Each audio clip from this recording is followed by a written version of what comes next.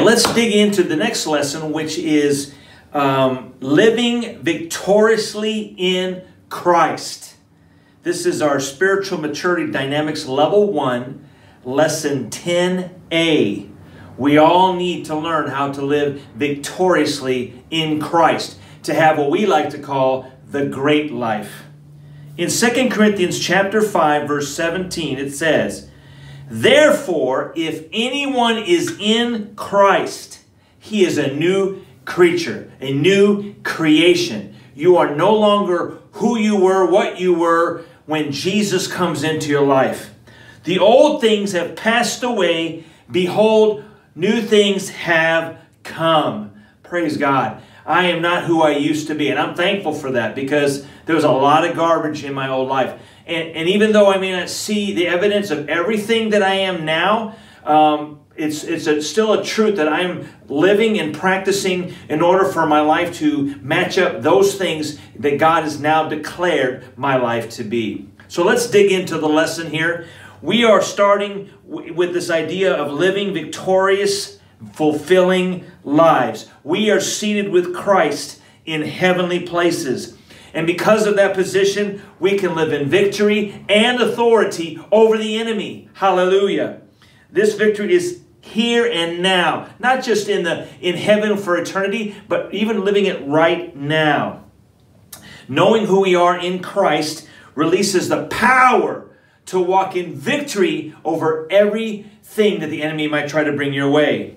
When we take hold of this truth, we'll realize victory.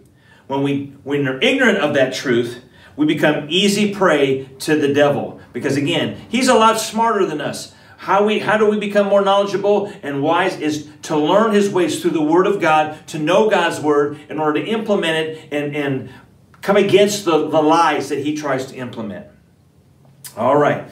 So again, we are new cre cre creatures, excuse me, when we come to Christ, right? When we ask Him into our life, when we repent of our sins, acknowledge our need for Jesus, invite Him in as Lord of our, of our lives, we are new creations. We're spiritually reborn. We're now sons and daughters in the kingdom of God. And we have privileges due to that position as we are day by day transformed as we grow in the knowledge of who we are in Christ. So let's talk about four main areas that this is true in our lives. Roman numeral 1 says, You receive new life when you come to Christ. Oh, praise God. Again, we were spiritually dead. Now we have a new life in Christ. We're no longer that old person. A, you now have eternal life. Emphasis on now. It didn't again doesn't start later. When we are born again, that the, the spirit of, that is in us becomes alive through the power of the Holy Spirit. And we begin that life of eternity, you might say, at that very moment. It doesn't happen way down in the future. Right then and right there, we are having that eternal life. B, you have God's love poured into your heart by the Holy Spirit. It's an awesome thing to grow in the knowledge that God loves us. Oh my goodness, God loves us. It, it, I, how do I even express that or explain that? How do I even understand why? But yet He does. C, you have the mind of Christ. 1 Corinthians 2.16 right? As I, again, it, primarily as I put the Word of God inside of me, but also by the empowering of the Holy Spirit, now I can begin to see things as Christ sees them. I no longer have to see things as the world sees them, but I can see them as Christ. I mean, my, my mental ability is being transformed. D, your body becomes a temple of the Holy Spirit. As you become born again, the Holy Spirit comes and resides inside of you. And this is found in 1 Corinthians 6 19, right? Now he's inside of you. You are the temple, he, he living inside of you. E, you have available to you the gifts of the Holy Spirit. The gifts. Okay, not just not just that you're still going about your life the way it was, but now the empowerment of the Holy Spirit is evident in your life, as you, especially if you, if you receive the baptism of the Holy Spirit, which we talked about in a, in a previous lesson. Um, we can start to operate in the healing and the words of knowledge and, and giving uh, uh, tongues and interpretation, words of faith, all of these things that are wrapped in, that God now makes these available to us. And this is found in 1 Corinthians chapter 12, verses 4 through 11. F, you have the Holy Spirit as a seal of ownership in your heart. When you invite Jesus in as Lord, He places the Holy Spirit inside of you, kind of like a deposit. I usually refer to this idea, and I, again, I don't know, maybe I'm dating myself just a little bit here, but this idea of when you would do a layaway. Lots of people would do that during Christmas time, right? They would go through the store with their cart. Yes, I want this for Jimmy. Yes, I want this for Sally. And whatever, grandma's going to get this. And some, my husband, my wife, whatever. And we put it in our basket. And there would be this place in the back of the store where they would take it and they would tabulate it up, just like you're going to pay for it right that moment, give you a total, and you would put a deposit. You would put some portion uh, of that down to say, these things are things that I want and they belong to me, and I've made a deposit. I'm going to come back and get them. Guess what? Jesus puts that deposit of the Holy Spirit. And what he's doing uh, by that is saying, You belong to me. I am coming back for you. Oh, isn't that an awesome thing? Or G, you are redeemed from the curse of the law. Galatians 3:13. The biggest part of that curse, of course, is death. That we would, we deserve death. The law says, do not steal, and then we steal, and then the curse comes upon us, and we have the penalty of death resting upon us. But now we are redeemed. We're set free. We, that thing's been broken. It's been paid for. Basically, the meaning of redeemed is that the thing has been paid for. I no longer have to pay it. It's been paid for by Jesus Christ and what he did upon the cross. H, you are made alive with Christ. Colossians 2 13. And, and, and I like that emphasis with Christ. You know, we're not just walking this life by ourselves. We're not just walking it without any help or, okay, just, hey, do the best you can and I'll check in on you later kind of thing. No, Jesus is with us right now and we're living this life through His empowerment, right? Again, that speaks to that victory that we started off with. Victory in this life. Not just going through it, suffering, and somehow just squeaking by. No, but we're alive with Christ. I, you are renewed by the Holy Spirit.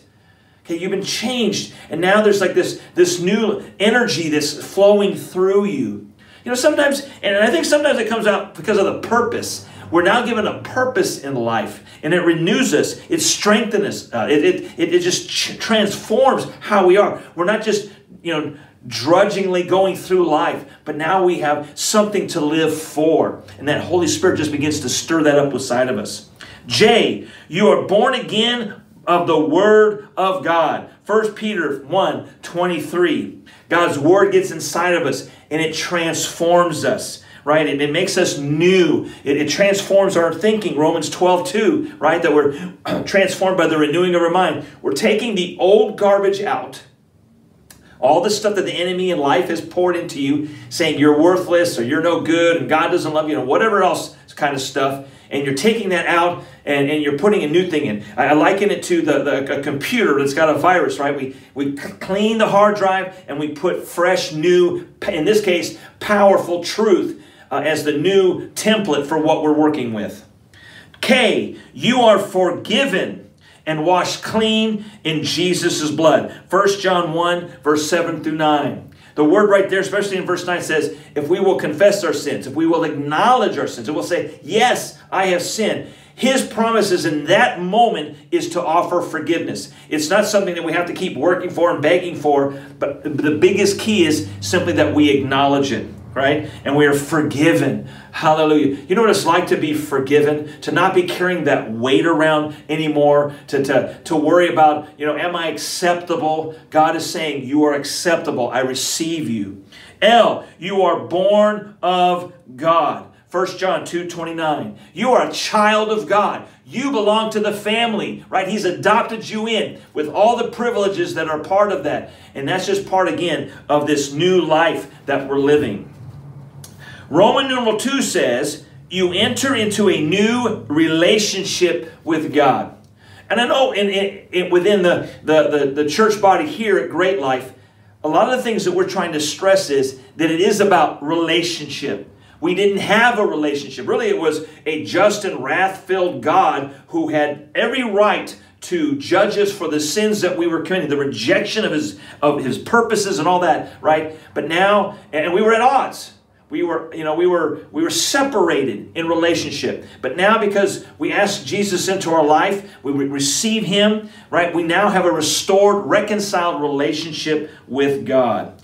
A, you become a child of God. I've already kind of touched on it already, that we now belong to the family. God is our Father. Father. And we mean that like in relationship, not just some title, but that we can call to him Father and think about how we, as husband, you know, as fathers ourselves, excuse me, you know, how we deal with our children, even mothers with their children, how we feel about them. That's how God feels about because we're his child. John chapter 1, verse 12, Romans 8, 15 through 16. B, you have peace with God right? You don't have to be worried that he's angry with you or all that kind of stuff, but rather you know that he loves you, that he's working on your behalf. He's begun a good work in your life, and every day he's working at it and he's speaking into your life, and that just brings a peace. A peace because you know that your life is in his hands. He's guiding these things right? Sometimes that's where peace kind of gets missing because we think there's there's nobody at the at the controls and nobody at the steering wheel, as it were. God is at the uh, uh, controls. He is guiding things in our life. That's found in Romans 5 1. C, you are reconciled to God. Romans 5:10. I spoke briefly on this already. There was a relationship that was had been destroyed. Had been as soon as we entered into that, you know, we have a sin nature, but as soon as we made that decision to engage that and do the things we weren't supposed to do, we separated in that relationship. But now because of the shed blood of Jesus Christ, we have opportunity. We say, Jesus, I'm a sinner. I need you. Come into my life. And now that relationship is restored. It's reconciled. The differences between us have been eliminated. D, you become a joint heir with Christ. Romans 8 17. Everything that Jesus is going to inherit, everything that is a part of his uh, treasure, you might say, also belongs to you and I when we become a saint of the living God. What an awesome thing. A, you are Christ's possession. 1 Corinthians 3.23. Now, that doesn't speak to uh, this idea of slavery or something. I want you to think about something that you possess. Maybe you worked for it, you went down to the store, you purchased it, it was valuable to you. Huh? So, see, we are valuable to Christ. We belong to Him, and He treasures us, and He spends time with us, and He speaks into our life. So, we are Christ's possession. F you are a new creation in Christ. 2 Corinthians 5.17. We read that at the beginning of this lesson. Again, that just again speaks that what we used to be, we are no longer.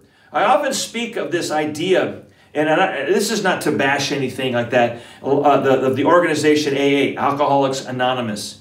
They have this thing, you know, they, they'll sit in a circle, and different ones will come up, or maybe they're doing it from their chair, and they'll say, hey, my name is uh, Joe, and I'm an alcoholic. Hi, Joe. But in the Christian sense of things, Joe is no longer an alcoholic. He is now set free from that. He has a different descriptive thing that's you know saying who he is. He's not an alcoholic. Does that mean he's not tempted, that he's not struggling, or whatever it might be? No. But he's progressing from what he was, the old creation, and becoming in alignment with what he is now in the new creation. Uh, G, you are crucified with Christ. Galatians 2.20. That means my old life has been put to death. It doesn't have dominion over me any longer. You know, so many people, so many believers struggle with the past sins, the past temptations, right? But that person is dead. It's they're buried. We are now a new living creature in Christ. H, you are accepted in the beloved. And this is found in Ephesians chapter 1, verse 6. We're accepted. Oh my goodness. Jesus accepts us. God the Father accepts us. He welcomes us into His presence. He welcomes us into His family. He welcomes us up into His arms and He holds us. We are accepted, right? He loves us. I, you are alive with Christ. Ephesians 2 5. We're not dead. We're not just, you know, hanging out all kind of limp. No, we are alive. We have purpose. We have things to do, commissions that we have received to go out and share the good news with others, right? And that just gives us a purpose, a life, something to live, to wake up for. Amen?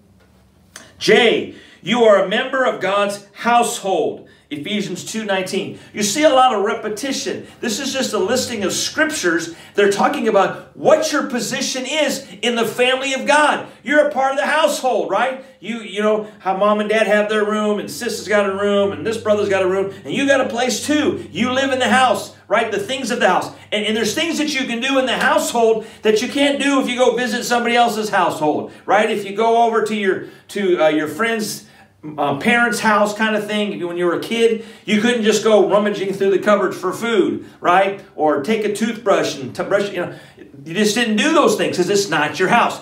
But you are a part of God's household. You can walk in the victory that God has given you. Amen. K. You can approach God with freedom and confidence. Ephesians three twelve. Isn't that an amazing thing? I don't have to come in all meek and shy. Now, again, it doesn't mean to be irreverent or disrespectful. It means that I don't have to think that my God is just ready to, no, forget it, I didn't do it, kind of thing. I have this harsh tone with us, like sometimes we've experienced with our own parents, right? But He wants us to bring our needs to Him. He wants us to come into His presence. He lives for them. And we have the freedom to do that. Not, we don't have to be like some other religions where we got to go to the high, the high priest or some other uh, in between person. We can come to God the Father on our own because we're His child. L. You can be confident that He who began a good work in you will complete it. Philippians 1 6, right? When you came to the Lord, He took who you are. And I, again, He loved you.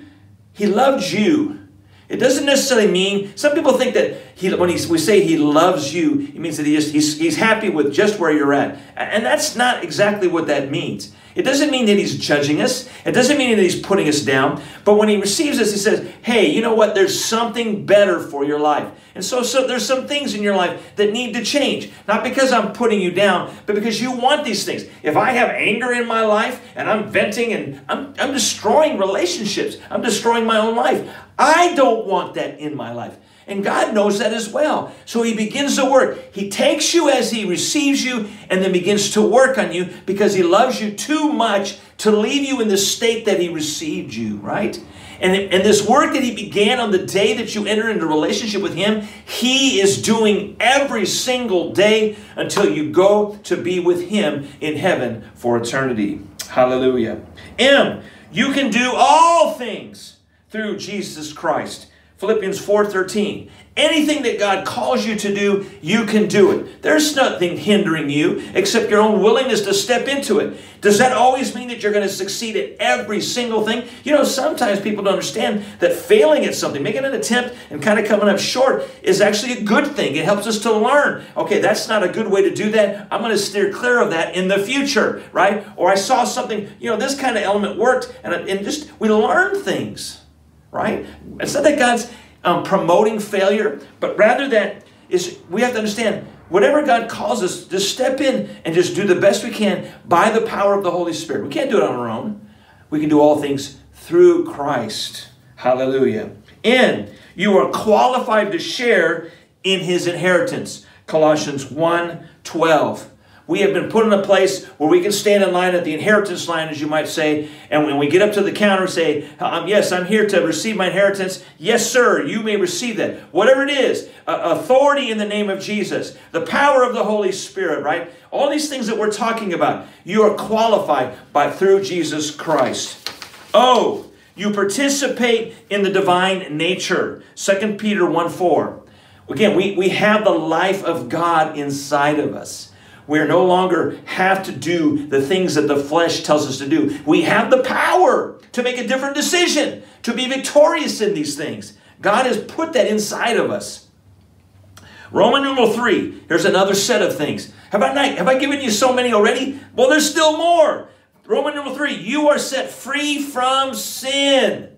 Okay, it no longer has dominion over you. It no longer has power over you. It no longer can just tell you what to do. You may think it does. I just can't stop doing this. I'm just struggling with this. No, by the word of God, you are set free. You're a new creation. It no longer has dominion over you. A, you are set free from bondage.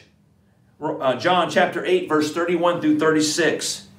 It doesn't have power. You can't hold you down. I can't go anywhere. I'm powerless. No, that's a complete lie from the enemy. You have been set free. Again, it's a matter of accessing it and then walking into it. B, you are set free from sin. Romans 6:18. Again, it doesn't have the authority over you. It doesn't have the power over you to just get you to do what it wants you to do whenever it wants you to do it. No, you can say, "No, I am not doing that. I'm choosing God's way." C, you are no longer under condemnation. Romans 8 1. Right? The enemy tries to come along and say, Look how bad you are. Look what you did. I thought you said you were a Christian. But you know what? God doesn't look at it that. As we acknowledge our sin, He is faithful and just to forgive us, cleanse us from all unrighteousness. There is no condemnation in that scenario. The enemy, again, he wants to lie to you. He's trying to draw you back into that old life. God came to set you free. D, you are saved from the consequences of sin. Romans 10 13. Now, this is speaking specifically about eternity in hell, you know, eternal condemnation, that sort of thing. It doesn't necessarily mean that if you do something wrong, that there may not be a consequence that you have to deal with because of that. But rather, the, the shame, right? Or that how that the guilt of that will cause you to kind of wander off from God. No, you don't have to be under those consequences because you have the freedom. Listen to this. Listen to this. Now you have the freedom to acknowledge when you're wrong. Why? Because you know God loves you no matter what. He's not, oh, you sin, forget you, get out of here. That's not how he's operating. Rather, he's just waiting for you to say, Father, I blew it again. I, and I confess that to you right now. And immediately you have access forgiveness and your life has been cleansed from that. So the consequences of lingering in that and continue to build on that lie upon lie upon lie, you no longer have to suffer from that. E, you have been made righteous and holy. 1 Corinthians 1.30. In other words, you have been declared. You are right before God. You have the power of the Holy Spirit inside of you. You can live towards God's purposes in your life. F, you are washed, sanctified, and justified. 1 Corinthians 6:11, right? I'm cleansed of my sin. His life is inside of me. I've been set apart for God's purposes. Right? I can stand before God free and holy. Like we talked earlier about the freedom and the, and the confidence we come before God. G, you are no longer, or excuse me, you no longer gratify the cravings of your sinful nature. Ephesians 2 3. Some of you might be saying, I think I'm um, gratifying quite a bit. But the point is, is that it doesn't have the same um, taste to it any longer. It doesn't satisfy any longer. It's starting to lose its grip on you. You don't longer want to do those things. I don't want to, you know, even when you're still struggling with something and you find yourself still falling into it time and time again, I remember, you know, it seems like there's always something in a person's life that they just stumble over and stumble over, right? I, and I've had those things in my own life. And, it, and here's the thing there's no joy in it. it, it's, it's fleeting, it passes. You think you have to have it, and you, and you get into it, and it's like, eh, it just doesn't have it like it used to. Why? Because your nature has been changed. I don't want to gratify those things. I don't want those things in my life. Okay? H, you are complete in Christ. Colossians 2:10. There's nothing lacking. You have everything you need. Everything you should desire and, and, and require in order to fulfill what God has called your life to be, you have it right now. All you're doing is trying to learn what it is. It's like you've been given a garage full of tools and here I am talking about the most unmechanical person on the planet. You're given this garage of tools. You may not know how all of them operate or what they could be used for, but you're going to learn. And that's the same thing with Christ. But we have the tools that have already been given to us. I, you have a new nature. Colossians 3 9 through 10. I don't have a sin nature. Now I have a God nature. I'm, I'm, acclimating myself to the things of God. I no longer want to do the things that the sin nature was, is always provoking me to do. J, you are cleansed from a guilty conscience. Hebrews 10 22. Again, that, that, that thing that the enemy kind of feeds it a little bit, but this idea that when you do something wrong, that you just keep living over and, and, and mucking up in it kind of thing. Like, I can never come to God. And you know, it's a funny thing. Sometimes we'll come to church and we're in that state and, and, and, we won't come up and just let it go to God and be cleansed and, and move forward from it. It's difficult. It's like we feel like we have to suffer something. We have to do something. And again, that, that's contrary to the principles of the kingdom of God. It's not about you doing something. When I do things for the kingdom of God, I do it as a response of love for His love for me. Not because I'm trying to make up for something. You can't make up for sin, right? All you can do is bring it to God and say, God, I, I, I acknowledge my sin before you. I repent. I don't want it in my life. Cleanse me. And He does right then. Right? You are healed. 1 Peter 2 24. God is pouring his, his spirit upon you and he's, he's renewing you physically, renewing you mentally. All of these things are brand new. He's healing. There's a healing process, but primarily healing of your spirit, that you're not being drugged down by all the things that used to drag you down in life. L, you are dead to sin and alive to righteousness. 1 Peter 2 24. That again goes right back to the thing we said before where I, I, I don't want those things that I used to do. I, I want to pursue those things that God has declared over my life. There's a, there's a changing, there's a, a switching. That's what repentance means. I'm going in this direction. I make a decision by the power of the Holy Spirit, the life of Christ inside me, to go in the opposite direction. M, you are cleansed from past sin. 2 Peter 1 9. That, that all the stuff that, that used to be a weight and a, a burden and a stain upon you is now gone. There's verses that talk about how, how God takes your sins and throws them into the deepest part of the ocean. He separates you as far as the east is from the west. And I'm just going to take a brief second. Some of you understand that concept, but you've heard it and you go, wait, what does that exactly mean? So let's just imagine for just a moment that you're standing on the North Pole, or rather, you're going towards the North Pole right? Every step that you take towards the North Pole is north. But then you get to the North Pole, and if you continue to go in a straight line past the North Pole, you are now going south. Okay? The point is, is there's a point where north and south connect. Same thing happens at the South Pole. However, it's not the same dynamic for east and west. If I go east and I just go east, I can go east forever. Or if I choose to go west, I can go west forever. It's as far as the east is from the west. They just keep on going. God separates us from our sin just that far. Hallelujah. Roman numeral 4. You are set apart in the world. Set up, in other words, you have been taken out of the uh, of the the culture, as it were, the sin nature stuff, whatever's going on, and now God has put you aside for His purposes. A, you are more than a conqueror through Christ Jesus, Romans 8:37. Isn't that an awesome thing? You're not just a conqueror. When you think, I'm a conqueror, oh yeah. No, you're more than a conqueror. Huh? You're rising even above that. Doesn't, it doesn't matter what the enemy brings, you can be victorious over every single thing. B, you are an ambassador for Christ. 2 Corinthians 5.20. And what that means is, when I said something about setting us apart, that doesn't mean that we just, you know, stay away from everything in the world. We're still in this world and we have a purpose to share the good news with those who still don't know him. But we do that as in the role as of an ambassador. In other words, we have a new citizenship that we have received from the kingdom of heaven. We are its citizens, right? But yet God then leaves us here you know, again, this is the big question that people don't understand. If the purpose of receiving Jesus Christ is to be saved and, and to spend eternity in heaven with God, why are we still here? Think about it. Why are we still here? It's really for one purpose to tell others about Jesus so that they too may obtain this free gift. And so you're an ambassador. You're from this other kingdom, as it were. You've been placed in the earth, right? To share. Yes, I want to tell you about Jesus. We have, and, and, and this is the thing about ambassadors.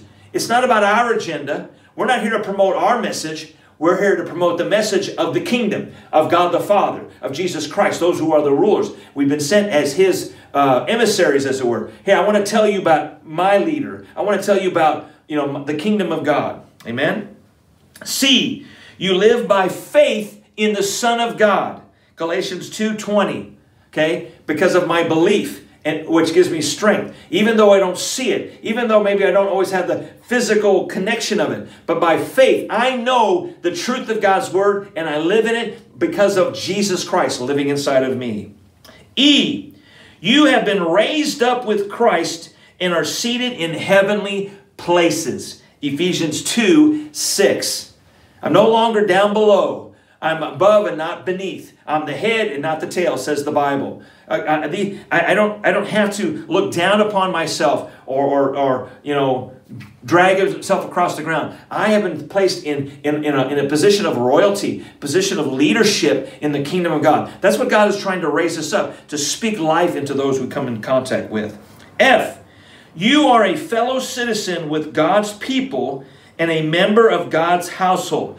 Ephesians 2.19. We talked about the household earlier. We also talked about the citizenship. We are now citizens of God's kingdom with all the other people. And listen, let me tell you about the family of God. Every brother and sister, not only in the church that you attend, whether it be here or somewhere else, but around the world. You know, it's an amazing thing. One, uh, just a few years back, uh, I had the opportunity to go uh, speak at a number of churches in the country of Hungary. Now, I don't speak Hungarian.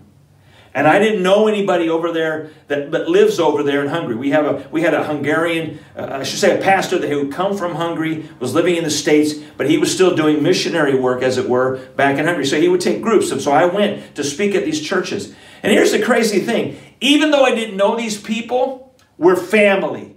I mean, they fed us till we were exploding, literally. You know, just we'd go from one church, pig out. Go to the next church, and they want us to pig out too. We're like, we just pigged out. We don't have room. Because it was family. They're welcoming family. We're part of his household. We're part of his family, his people. G, you are rescued from the dominion of darkness and brought into the kingdom of God.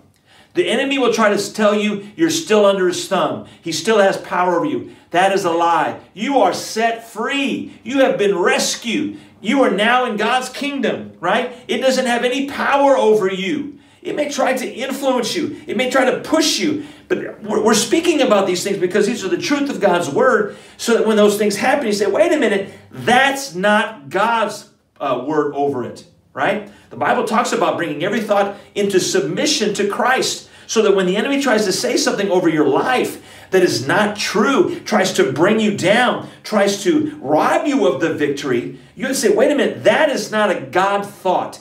And I bring that, Jesus hears that thought. It is not from you. I, I, give it to you under your authority, and I choose to believe the truth of your word. Praise God. H, you have the hope of glory. Oh, again, that word hope doesn't mean wish. Oh, I wish for it. No, hope is a confidence, it, it, it gives me life. I know that I'm going to spend eternity with my Father in heaven, and, and it gives me strength that I don't have to think of this life and all this stuff because things in life, you know, just again, just because you're a Christian doesn't mean everything's going to be perfect. Everything's just going to go your way. There's still struggles and trials. And God is using all things, as He says, all things to work together for good. He's, he's molding us and shaping us by those things. But even so, I know one day I'm going to be with my Father for all eternity. Amen. I, you look forward to a new heaven and a new earth, the home of righteousness. This isn't our final destination, right? Your house and where you live and all that kind of stuff, your neighborhood, it's not your final destination. All of that will pass away. One day, you are going to live in heaven. Jesus said he's made mansions, he's made rooms available to us. He's up there, kind of has running the construction crew, if you will, up there, because one day we're going to be with him. And it's going to far, far exceed anything that this life has to offer. And again, that's something that we hold on. And I said in a previous lesson about that if, if we are just living this life to somehow figure out how to live a good life here, but there's no beyond there, then it's, it's, it's, it's a worthless thing, right? Might as well just live and do what we got to do. And make it survive because there's nothing beyond this. Oh, hallelujah. There is something beyond this. God's preparing it. And one day we'll be there. And J, oh, this is a really cool one here. You can overcome the world. 1 John 5, 4 through 5. Jesus even said that I have overcome the world. And by virtue of that, He has now empowered us to have the same ability. Nothing, nothing, nothing that comes against you can overwhelm you. Nothing can bring you down. It's, it's up to you to say, No, I choose God's truth. I choose the revelation of the Holy Spirit as He enlightens His Word and brings that truth to reality in my life. In other words, it's not just something I'm reading, uh, uh, you know, from the pages of my Bible, but it becomes alive through the power of the Holy Spirit. And I recognize that God has declared it over my life. Right now, whatever life might try to bring me, I can overcome it. Amen. Again, this is not about establishing a kingdom on this planet through political means or whatever kind of stuff that we're talking about. We're talking about overcoming the world so that it doesn't change who God's declared you to be. So that no matter what they do, amen, I can smile, have peace, have joy, because I know who my Savior is. Our position in Christ as a result of salvation is a privilege so great that it's difficult to grasp. We'll be learning about it for all of our life. It's far reaching, life changing. But yes, it's but it's also real and attainable. And as we begin to understand this true nature of our position, we experience victory over temptation, sin, and even the enemy, the devil, as a reality. We become more than conquerors, overcomers, ambassadors, heavenly citizens, new creations, joint heirs. Oh, aren't you getting pumped just hearing this stuff, huh? Okay, with all of the heavenly blessings that that uh, uh implies. We have strength, confidence, health, forgiveness, freedom, hope, eternal life. I'm just speaking this over you right now, wherever you're at. Perhaps right now where you're sitting, you're you're like, you just don't, you're not there, right? You're questioning and doubting, and you're allowing life to kind of drag you in. I'm telling you, this is what God's declared over your life. Huh? Because you're a new creation. You're a child of God. You're a citizen of heaven, destined for to live with your Father forever. And He's called you to live victoriously through Jesus Christ. So I encourage you, get into this. You know, after I'm all done with this, go back over, open up those verses, read them for yourself. Say, Holy Spirit, speak those into my life so they become a reality. So you too can actually live victoriously through the power of the Holy Spirit in the life of Jesus Christ. Amen.